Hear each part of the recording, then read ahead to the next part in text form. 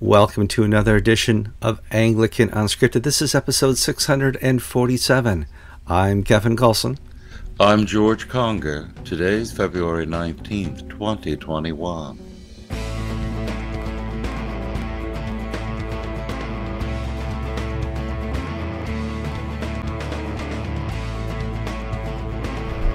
All right, welcome to another show of Anglican Unscripted, the Friday show, kind of the free for all, because there's not a lot of topics on my list. I have maybe one topic and some side topics we'll talk about. Before we get too far into the program, please like this program on YouTube and Facebook. Share it with your friends and foes.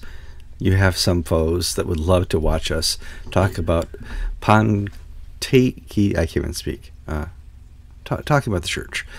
And if you've not subscribed, many of you have, now's a great opportunity to subscribe to the channel. George, how you doing this week? Just fine. I, Kevin, I come before you a shamed man. I did my ashes to go. for, I'm not going to call it ashes to go. I still have some self-respect, but we'd had an online Ash Wednesday service, the liturgy of penitence, and and then at uh, noon and at 5:30 we had drive up ashes and communion and I and my uh, deacons uh, were out there with uh, these six-inch uh, cotton swabs or Q-tips, the wooden ones, with mm-hmm. the and just stick it in the ash, do it on your forehead, pop it in the can, and uh, uh, people enjoyed it. But yeah, I was it, just it, feeling like. I said, "Thank God nobody's filming me, yeah, except for my wife, who posted a picture on Facebook up. So got to see some pictures. No well, I mean, it, it it we're drawn to these times to make uh, some sacrifices. I say that because I'm I'm now in a tin can in the middle of Florida, and I don't know if the people can hear the the microphone may be taking out the noise, but there's a little bit of rain going on in the background. And you know, this is something that COVID has brought on an opportunity to travel. For you as a priest, you have had to drastically change how you operate church and how you operate worship and how you work with your community uh, of believers. Uh, and it's amazing to see, it's been a year. I think the church, those who have survived, have finally figured out how to survive in COVID times. There's always good news at the end of the tunnel. Hey, w- maybe by June we'll have herd immunity. Maybe by September. I heard somebody say maybe by next Easter uh, in 2022. I don't know. But I do well, know that the church is surviving. Well, it's fascinating to see how people respond. We're having a video, Stations of the Cross, today online, and um, I'm putting it together. Actually, going to finish it when we're done broadcasting, and it's interesting because we've have people recording the Stations of the Cross. We have lay people each do one of the 14 stations, and we have some people in their 80s and 90s who have just jumped in enthusiastically into Zoom and video conferencing and putting up their iPhone on a little stand and re- and reading a, a lesson or something. And then we have other people who are our age who, you know, if it doesn't have a remote control switcher, they're not turning the thing on. So it's quite fascinating to see how people adapt to these times. My older than 60 year old mother, if I if I said her age, I think she would be offended. Um, is Miss Zoom at the, at her uh, retirement community, and uh, so she's taking her Zoom meetings at two or three a day because she's still on boards of uh, some of these uh, places she's worked for before. And I get these notices all the time because I'm I'm the backup to her email. If she ever gets locked out, I get a notification. Patricia Kallsen has accepted another Zoom invitation. Oh, great! Here, it's just like she needs to keep her brain active, and uh, I think if you have any adaptation to technology, regardless of age, uh, COVID is an opportunity to, to learn something new, not just uh, you know put yourself in isolation.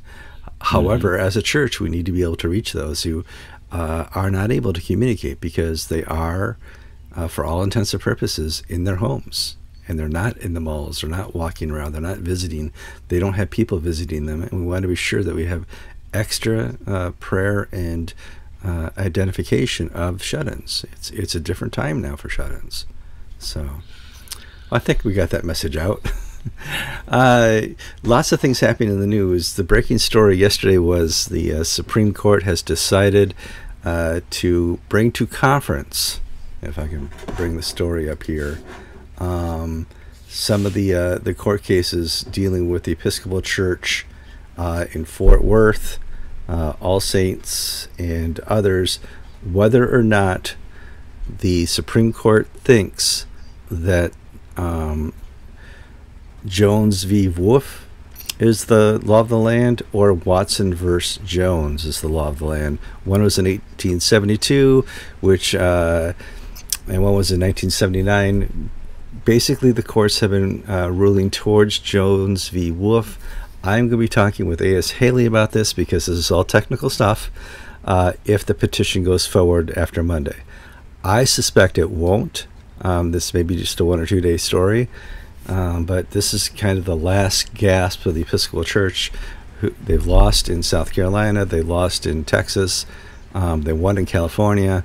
So we'll have to see what happens here. I'll keep you posted. If you see a video with A.S. Haley, we're going to talk all about Supreme Court dockets and the process because it's not easy to get into and uh, uh, have a victory in the Supreme Court. Although Alan Haley is a victor of the Supreme Court, he won his case there. So, well, for for those who don't understand how the American legal system works, the United States Supreme Court chooses which case it hears. Uh, not all appeal. It doesn't have to accept appeals, mm. and they have conferences where the judges meet maybe six times a year and go through a series of cases that have been presented to them. And they have 489 cases to go through today at their conference, and it's secret. Nobody's there except the judges, no clerks, uh, no secretaries, and the the vast majority they reject. No, we're not going to hear this issue. And there are three ways forward. They either accept the case and set it for hearing, they reject the case, or they relist the case, meaning they kick the can down the road. The significance of this is that the Episcopal Church cases were heard on January 22nd, and the court has relisted the two Episcopal Church cases, All Saints versus the Diocese of Fort Worth, and the National Episcopal Church versus the Diocese of Fort Worth, along with a Presbyterian case from Washington State. And what's significant, I think, from my lay perspective, is that they've got three cases, two of which follow the uh, 79 case, which says you can have neutral principles of law in church property issues, meaning you look at what the deed says, not what the denomination says. Mm-hmm. Texas followed what the deed says. Washington State followed what the denomination says, saying it doesn't matter. Presbyterian Church is not on the deed of the Seattle Church. If the Seattle Presbytery says it's theirs, it's theirs.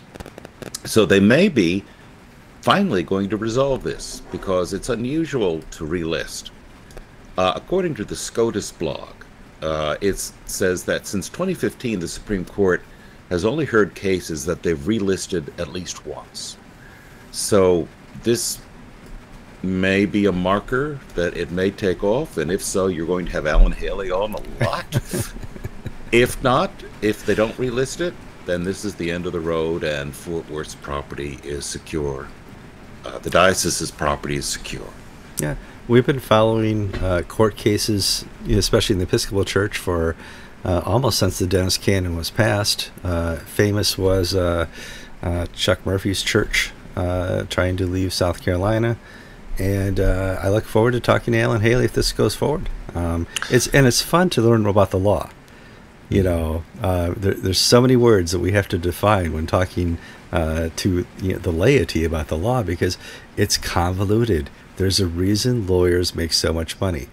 They and why Alan has an Airstream giant aluminum tube, and you have what a uh, uh, 2004 Country Star. Yeah. Oh.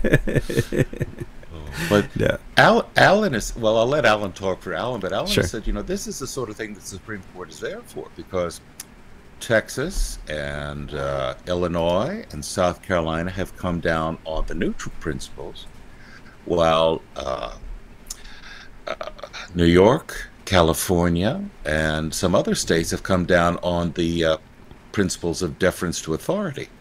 So we do have two law, two different ways of viewing the same law, and this is what the Supreme Court is there for.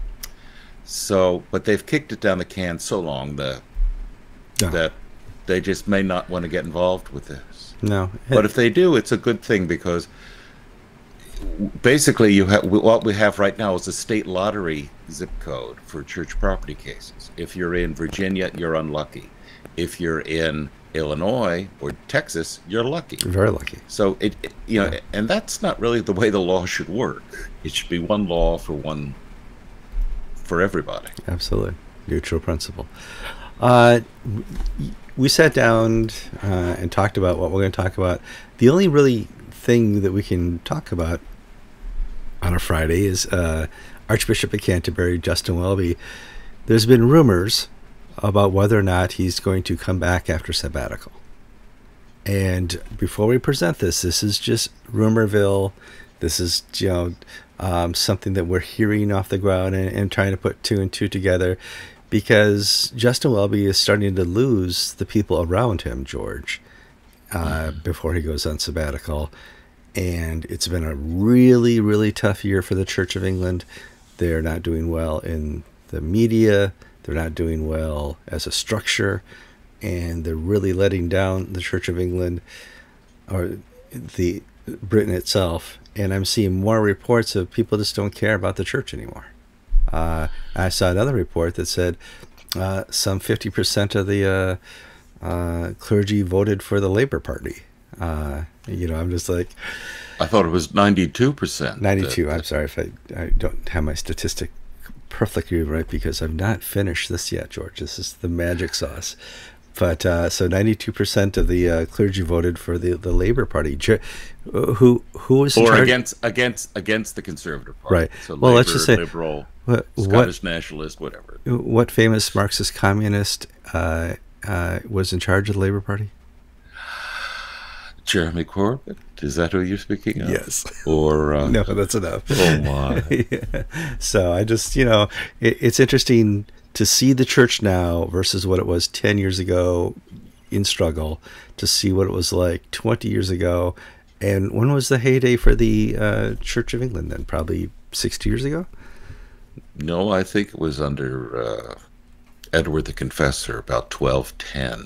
I think they reached their peak, and it's been it's been downhill ever Downhill since. since then. But- well, okay.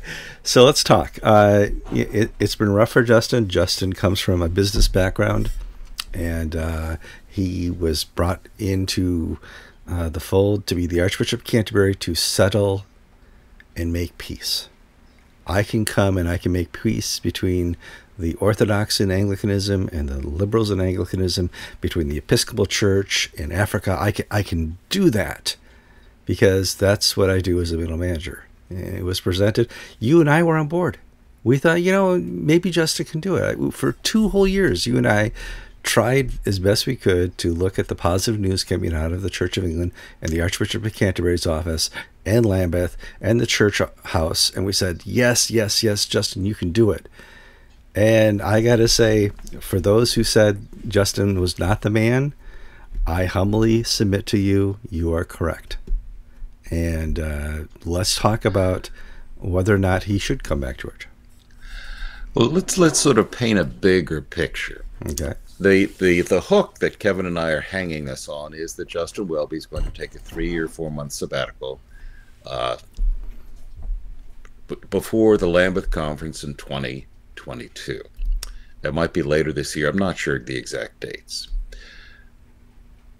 And let's just sort of paint a picture. Justin Welby was elected Archbishop, appointed Archbishop of Canterbury in 2013 by the grace and favor of God and the Queen and the Prime Minister. The uh, Justin Welby had only been Bishop of Durham for two years, which is sort of an unusually short period of time uh, to be bishop before getting kicked upstairs to Canterbury. However, he had a very good, impressive resume. He had not gone immediately into the church after university, but had been an executive at an oil company. And part of the buzz around Justin Welby was the management culture of business can help turn the Church of England around. And it's been part of the ethos of the last decade of the Church of England that we're going to be well run, we're going to encourage uh, bishops to have more MBA like training, uh, and this and that. Now, you're absolutely right. You and I uh, liked Justin Welby when he came in the door. I liked him for theological reasons. Um, but when I heard this stuff about, well, he's a businessman and can bring business sense to the Church of England, I wasn't so sure because he was a finance guy. He wasn't a business guy. He wasn't the guy uh, working with people. He was working with numbers. But hey, you know, whatever. So Welby comes on, and he's just had a difficult run. Part of it is any archbishop would have had a difficult run. It sort of it drained Rowan Williams, who is brilliant and who has a tremendous capacity for hard work. The man could be a full-time archbishop, do his job, plus write books on the side and do a speaking that, tour. Uh, yeah. So Welby Welby comes on, and in 2013, and last year has been pretty bad in the sense of public relations problems and now COVID. In 2015, Colin Coward, a friend of ours, not necessarily a friend of the show, but at that time, the head of the gay and lesbian Christian movement in England met with Canon David Porter. David Porter is an Anabaptist minister who was brought on by Welby to be his director of reconciliation to sort of lead the conversations between liberals and conservatives. How do we go forward over the issue of gay marriage? In 2015, Canon Porter told Colin Coward, according to Colin Coward, that and, the staff. I, I, believe Colin in this. Yeah, Colin yeah. doesn't lie. No. Colin doesn't lie. Um, he's an honorable fellow. Mm-hmm. Um, that the, the staff at Lambeth Palace was expecting to lose 20% of the Church of England. They described it as we'll keep the 80% in the center and lose 10% on the margins. Now, maybe 2% on one side, 18% on the other, but what have you. And the reason why is that they are basically going forward, to eventually bringing about some form of recognition of gay marriage to sort of bring the church in line with the culture. Whether and how that appears, how that works out, they've still not figured it out. So that David Porter has sort of been kicked upstairs from the director of reconciliation to Justin Welby's right hand man. 2017, Welby brought on board as Bishop of Lambeth a man named Tim Thornton. Tim Thornton had been Bishop of Truro, and he looks like a bishop. He's youngish, handsome. He had been a suffragan bishop in Sherborne, then Bishop of Truro, uh, he had the more traditional 20 years in the episcopacy, 10, 15 years in the episcopacy than Welby did. He was brought on board to assist Justin Welby at Lambeth Palace. And he's been the point man for the Lambeth Conference. He's been the point man for the abuse things, abuse issues. And Tim Thornton, who is 63, announced that he's taking early retirement to spend time with his family. Now, in England, you retire when you're 70, when you're a bishop of the Church of England. So he's cutting out seven years early to spend. It's like when a politician says, I want to spend more time with my family. They're just waiting for the pictures to get released. You, yeah. now, he could very well want no, to spend more time with his family. I'm doing I that. Mean, so, Kevin, you are perfectly happy living in a tin box with your wife with no dividers between the two of you. Oh, I want to say ha- we are surviving. Well, Tim has come under a great deal of pressure from the survivors abuse networks, the people who have been pressing the cause for the reform of the Church of England's handling of abusive clergy. And Thornton has been the one that people are accusing of stonewalling because Justin Welby says, I'll meet with abuse survivors. Five years go by. And, you know, Thornton is the one who's talking to this abuse survivors saying, well, here is here are the questions you may ask. Here are the answers Justin Welby's going to give, and here's how we're going to take the pretty picture. So Thornton either is the man doing the decisions or is the man enacting the decisions. And he's bailing out. And I don't know whether we can tie it to the recent revelations about the uh, John Roberts case in Liverpool. That was the priest who was uh, in his retirement, worked under Welby at Liverpool Cathedral, was abusing uh, young men, and one of the victims complained to Welby, and Welby told him to shut up, go away, don't bother me, kid. So, whatever it is, Tim Thornton is bailing out before the Lambeth Conference, and he's been the point man. Mm-hmm. He's bailing out seven years before retirement. You normally would. And then Welby's chaplain, Elizabeth Hamley. Now, friends of ours, friends of the show in England, report that uh, this is a bit of a dragon, uh, Elizabeth Hamley, but that was his chaplain. And sometimes people bring aboard assistants whose personality is just like theirs. A bad manager surrounds himself with people just like him, whereas a good manager surrounds himself with people uh, of different backgrounds and persuasions to sort of get a rounded picture. Elizabeth Hamley, his chaplain, who's a bit of a dragon, bit of a piece of work, people tell me. I've never met the woman, so I don't know. And yeah, it's that's, yeah. rude of me to say these things. She's bailed out. Mm-hmm. And they created a, I don't want to say fake job, but they advertised the position of part time theological advisor to the House of Bishops.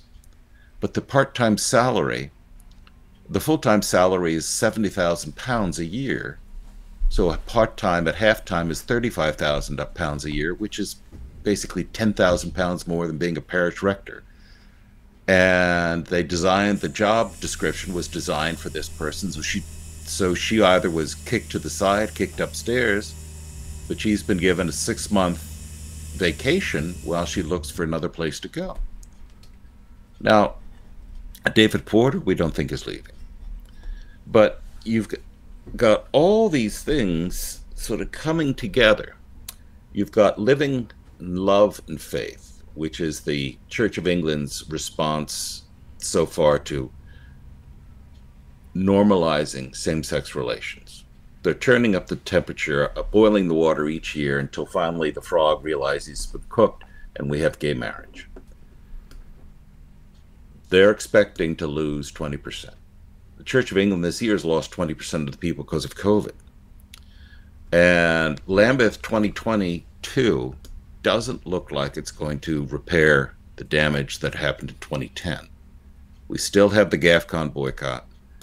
Um, Welby has, if anything, further alienated himself from the uh, key primates Nigeria, Uganda, Rwanda. So, I, 65, I think we're going to see some sort of graceful announcement before the Lambeth conference because he'll want to preside over that. Sure. And he'll sort of be the you won't want to be mean to Welby because he's leaving, and therefore anything you say has no meaning if you criticize his policies. I think the cards are being laid out. Either he's reorganizing and hunkering down and getting ready for the Russians to storm the bunker, and he's going to be there till the very end, or we're seeing the we're seeing in the in the bureaucratic world, in the corporate world, all the little pieces and signs of a uh, change. They're in the offing an extended vacation, key staffers leaving, major projects that were the showpieces of his tenure falling apart around him. What's that telling you? It's interesting because we did have a lot of support between you and I uh, for Justin Welby in the first two years, and then he started to choose sides. Mm-hmm. Yeah, he was. I, I, I can hold this together. I can make this work. I can join the liberals and conservatives and we can move forward as a church. And even at that time, he says even as a church that's 20% less. If we lose 20% of the community like this, that's fine. I understand that. We'll do it together. Then at some point, uh, two, two and a half years into his uh, reign, I use that loosely, of course, he chose sides. He says, I'm siding with the liberals. I don't know why he chose sides. Clearly, they have the money uh, they have property. They have uh, the politics of the day. They don't have to fight the culture. They are the culture. And so he chose sides. And in doing so, he lost my support, clearly George's support. Uh, GAFCON stopped trying to work with him. And he, he lost support in Africa, except for those countries who really needed the money. Mm-hmm. And so here we are today with uh, Archbishop Justin Welby. Where do we go forward from here? I say he stays in office just to spite you and me. You know, who knows? But I think you're right when we discussed this before that things are kind of lining up where he's not going to have the inter Lambeth support, and he may be setting up for an announcement right before Lambeth that this is his final Lambeth, and that they'll be looking for a successor, a successor to Archbishop Justin Welby. We'll have to see. I mean, you, but you and I have prognosticated like this before on topics, and lo and behold, accidentally, we, we always seem to pick the right cards, and we're right. I don't we, know why. We picked Katharine Jefferts Schori as the next presiding bishop at the Columbus General Convention. Sure. We picked Justin Welby as the next Archbishop of Canterbury. And we didn't get Michael Curry though. Michael Curry, we, we did thought, get Michael Curry. Yeah, we uh, blew I, that one. but uh, but the well, two out of three is bad. you know, but uh, if you want to talk about, you know, Justin Welby is, in practice, a Katharine Jefferts Schori as far as the short tenure before archbishopship. She was a, a bishop for like a weekend, and then she became presiding bishop of the Episcopal Church. He was bishop of, of uh, Durham for two years before he became Archbishop of Canterbury. There seems to be this way we found our guy, get him to the top. We found the right person, move them on up. Well, the in a uh, normal political environment, Welby's problems would give heart to his opposition, mm-hmm. which in Welby's case are the liberals and the conservatives. It's the corporatists who back Welby. I'm not very optimistic because the conservatives in England are actually madder at each other than they are the liberals or the corporatists. This is true. They are fighting each other the, tooth and nail. The, tra- the traditional battles between the evangelicals and Anglo Catholics are now intensifying and getting nastier and personal. And the inter evangelical political war is getting personal and nastier. And it's part of it is that the cause is the Jonathan Fletcher issue. Mm-hmm. And all of the things that reverberate around that. We printed a press release the other day from the Church Society, where the Church Society said it would. Church Society is, if you will, the main uh, rallying point for traditionalists against the, in the Church of England, in the institution, who are still inside the Church of England. inside the church. They uh, they was, they said we're going to imp- appoint an external uh, investigator to look at accusations of bullying culture and that we have problems with anti-Semitism. And I read this and I knew exactly what they were coming from and where they're talking about. And I don't mean to be dismissive of anybody, but the anti Semitism part arose when some Jewish bloggers and Jewish Christians complained about uh, the influence of Stephen Sizer, uh, former rector of Virginia Waters, within the Church Society. Now, Kevin and I have met Stephen. He's a charming fellow. He's a lovely guy. We've we've eaten meals with him. Well, the last meal was in Jerusalem. Jerusalem, yeah. yeah, uh, he is out there on the Palestinian Israel issue. He has and one. He has one issue. This is. Yeah. I don't mean to be unkind to Stephen because I do like him as a yeah. person, and his theologically is on just about every issue is sound, but the Jews. It's like your crazy uncle that you only see at weddings and funerals, and you try to get away from him uh, when he starts talking about Freemasons. Stephen Sizer has appeared on stages with uh, Iranian mullahs and Hamas, and he's been disciplined by his bishop for after complaints from the Jew- Board of Deputies of British Jews for anti-Semitism. And I think within England, the Church Society is not anti-Semitic. They just this is one of their guys, and they sort of are like George and Kevin. Yeah, yeah, yeah. We know all about Stephen, but just you know, just so, so long as he doesn't bring it up in front of us, we're not going to worry about it. Well, in this day and age, in the social media world, there no. Uh, you there's can't no say corners. this is forbidden territory. Yeah, I mean, there's no corner you can hide in in this social media age. Uh, if you have an opinion and you express it, and somebody doesn't like it, a lot of people are going are going to know about that. Yeah, so so so this anti-Semitism thing is. Uh, I don't want to be dismissive of it because anti-Semitism is a tremendous problem, mm-hmm. but it's not a problem in conservative circles. It's a problem in PC and woke circles. The is the Jew haters of today are not uh, rednecks with Confederate flags. They're they're educated university here. Absolutely, the, the Yale, the Harvards, the Princeton. I know exactly who are the uh, anti-Semitics. It's Hollywood now. It's uh, uh, the influence of Islam in our culture. It, it, it is amazing to see how this nation uh, who was there at the beginning to support the new nation of Israel uh, many many decades ago, is now uh, fighting it tooth and nail. I'm like, how did this change? So. It is funny because within American culture, it was the liberals who were pro-Israel yeah. up until, and the conservatives who were distrustful.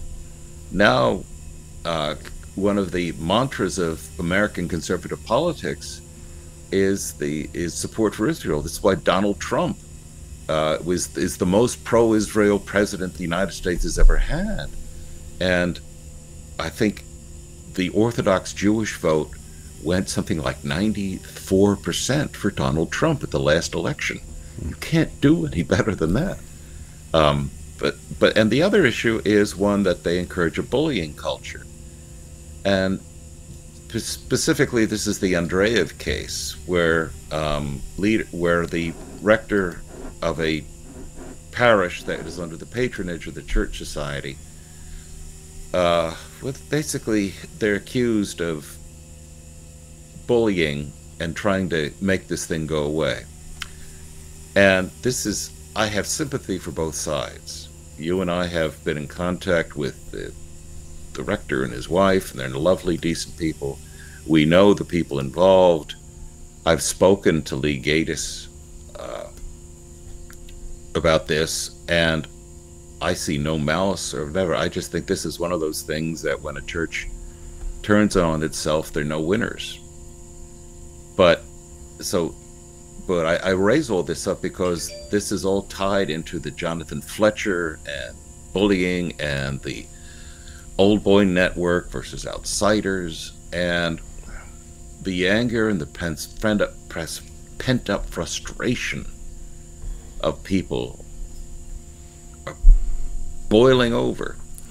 I say once so, a year. So, the, so yeah. the net effect is that there's not going to be a single person around whom traditionalists will coalesce. Yeah. For the last 10 years, about once a year, we have an episode that tends to uh, pontificate the the end of the Church of England. I, you and I have talked about it. Gavin and I have talked about it. Gavin, you and I have talked about it. And there's nothing I've seen that has changed that trajectory. It seems to be on, on the trajectory of, of falling apart and not being able to continue at some point. Uh, and I'm not speaking highly of uh, GAFCON in the UK and, and all it's doing. Uh, the AMIE, I got that right. May not be doing really well, it may not be the best program going, but they may be the only thing left in five years after the collapse of the Church of England. And I think you know there, there's hope in that. You know that there is, there are other alternatives, but you and I have talked about this before.